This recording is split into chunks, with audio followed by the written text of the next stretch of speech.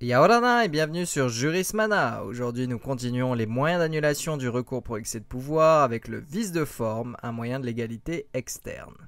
Le vice de forme est l'irrégularité qui entache un acte pris selon une forme ou adopté selon une procédure contraire à celle imposée par la réglementation. La forme désigne la présentation matérielle de l'acte. Pour l'essentiel, les règles de forme se rapportent à l'obligation de motivation et la nécessité de comporter certaines mentions, comme le nom, la qualité de l'auteur de l'acte, la date, la signature, le contreseing, etc. La procédure désigne, quant à elle, l'ensemble des formalités exigées lors de l'élaboration de l'acte administratif. Comme pour l'incompétence, toutes les illégalités affectant la forme et la procédure de l'acte n'entraînent pas automatiquement l'annulation de celui-ci, et ce dans trois hypothèses. En premier lieu, l'hypothèse des formalités non substantielles ou accessoires. Selon cette hypothèse, seules les irrégularités commises à propos des formes importantes, dont le respect aurait pu changer le sens de la décision, justifient l'annulation de l'acte pour vice de forme. Par exemple, le défaut de contre-saint ministériel est considéré comme un vice de forme substantiel.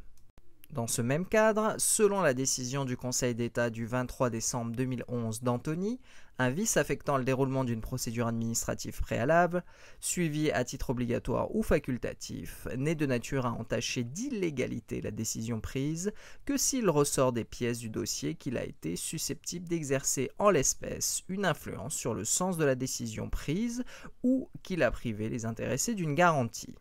Le juge annule ainsi non seulement les décisions dont l'irrégularité commise a eu une influence sur le sens de la décision adoptée au final, mais aussi les décisions où l'irrégularité commise est susceptible d'avoir eu une telle influence.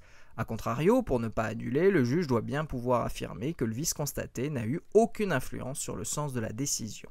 Le juge appréciera donc concrètement la situation en fonction de l'objet de la procédure, de la nature de la décision en cause, des circonstances dans lesquelles est intervenue l'irrégularité.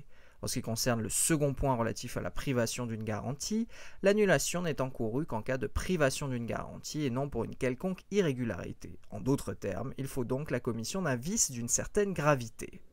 La deuxième hypothèse, relative à l'absence d'annulation pour vice de forme, est l'impossibilité matérielle de respecter une formalité, aussi appelée théorie des formalités impossibles. Elle s'applique notamment quand une partie refuse d'accomplir une formalité, comme par exemple pour une sanction disciplinaire, le requérant refuse de se rendre en convocation, ou les membres de la commission de discipline refusent de siéger. La troisième et dernière hypothèse, où le vice de forme n'entraîne pas l'annulation de l'acte, est identique à celle déjà vue de l'incompétence, soit en cas de circonstances exceptionnelles ou en cas de compétences liées. Et voilà, nous en avons terminé avec cette présentation rapide du moyen de l'égalité externe de vice de forme. Merci à tous et à très bientôt sur Jurismana. Parheane